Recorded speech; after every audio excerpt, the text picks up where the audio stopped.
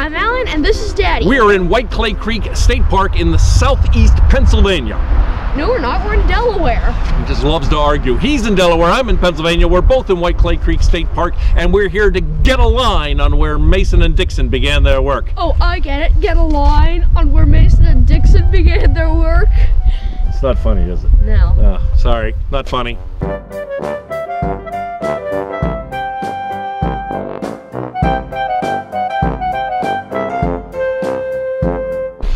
So this pylon is called the Arc Corner Monument, and this is where that odd little quarter circle that forms the north boundary of Delaware begins.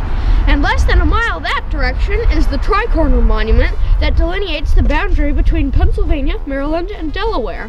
And that's where the famous Mason and Dixon line begins or ends, depending on which way you're going. In fact, it is the uh, endpoint of two Mason-Dixon lines, an east-west one that divides Maryland and uh, Pennsylvania, and a north-south one that divides Maryland and Delaware.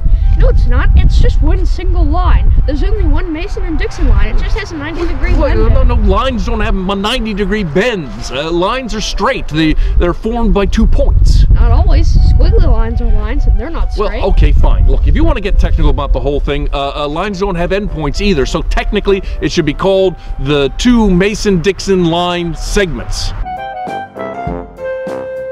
Just tell them who Mason and Dixon were. I will do that. Charles Mason was an astronomer and Jeremiah Dixon was a surveyor, and they worked together between 1763 and 1767 to resolve a sometimes bloody dispute between Pennsylvania and Maryland over their boundary. So why do you need an astronomer to settle a land dispute? Well, look, uh, this is uh, uh, uh, the 18th century. There are no GPS systems, so just as sailors had to navigate by stars on the seas, surveyors had to depend on the stars to know exactly where they are.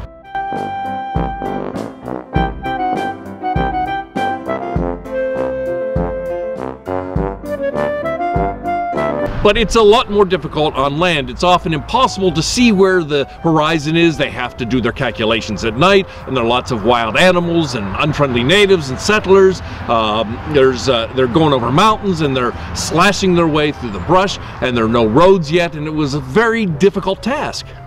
So why doesn't the Mason-Dixon line come all the way to here? Why is it stopping eight tenths of a mile that way? Well, because the arc line is part of what they call the 12 mile circle. You see, way back when William Penn was running things in Pennsylvania, uh, he had control of this area too, which is called the Lower Delaware. How can this be Lower Delaware when we're in the northern part of the Well, you see, back then it wasn't a state. In fact, it was uh, barely a colony at that point, but it refers to being on the lower part of the Delaware River. Anyway, the people here weren't getting along with the people in Pennsylvania, so Penn split it in two and created two colonies. The capital of Delaware was New Castle, and the land was supposed to include a 12 mile radius from the center of New Castle. So that's the 12 mile circle? Exactly. Except they probably should call it a 24 mile circle because it's 24 miles in diameter. Or the 24 pi circle to have the right circumference.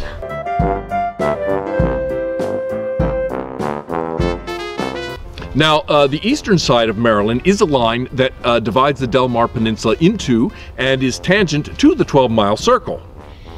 That would actually be a line segment that divides the peninsula and is tangent to the 24 pi circle. Right. Uh, that's um, that's one of the line segments that Mason and Dixon worked out.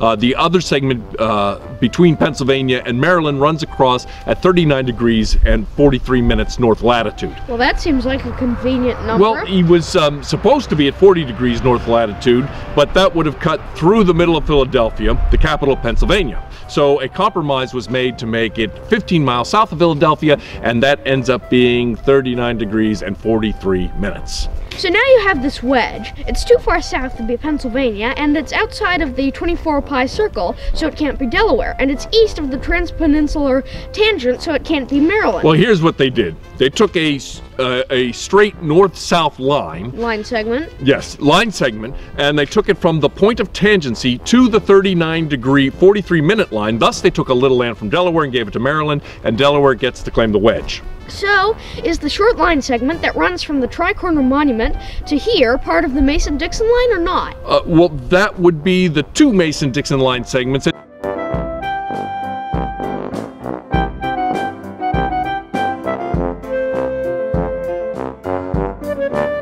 No, that's called the Mason-Dixon line extension, or rather the Mason-Dixon line segment extension. Hey, taking a moment for a commercial break here. I ran all of our math terminology past Patrick at Patrick Just Math Tutoring. He has a fantastic, straightforward math tutoring channel on YouTube. Now, he tells me that we could call it the three Mason-Dixon line segments, or we could actually call it the Mason-Dixon curve, but, you know, I don't think that's any better. It's like telling someone you're going to draw curve in the sand. It doesn't have the same impact as drawing a line in the sand. And he also says that the naming of a circle is a challenge, and uh, different people, engineers, mathematicians, geographers, etc., might do it differently. So perhaps it should just be uh, the New Castle Circle. Anyway, if you're not familiar with Patrick's site and you're a little confused on math, it's the place to go. He's really terrific. You can click on Patrick here, or you can click on the uh, link below in the lower right hand corner of my page. Okay, back to our video. Finally, that's resolved. Yes. Well, the Mason-Dixon line would go on to figure prominently in the Missouri Compromise and theoretically divided the North from the South in the Civil War.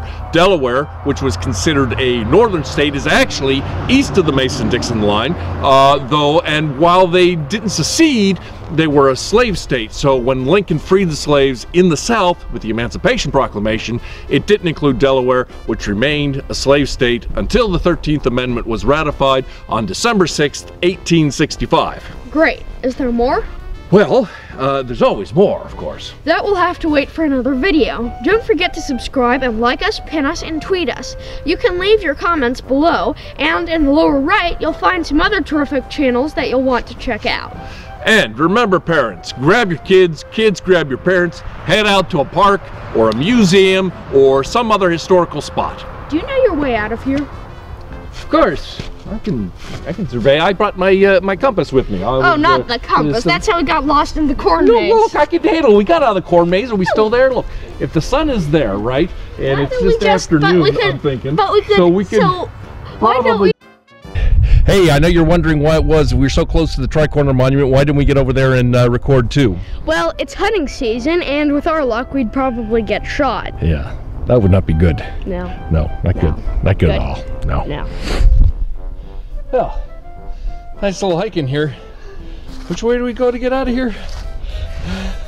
Uh, Is that way? that way. Or this way? Oh wait, maybe it is that way. Not as easy as it seems. All right, this way.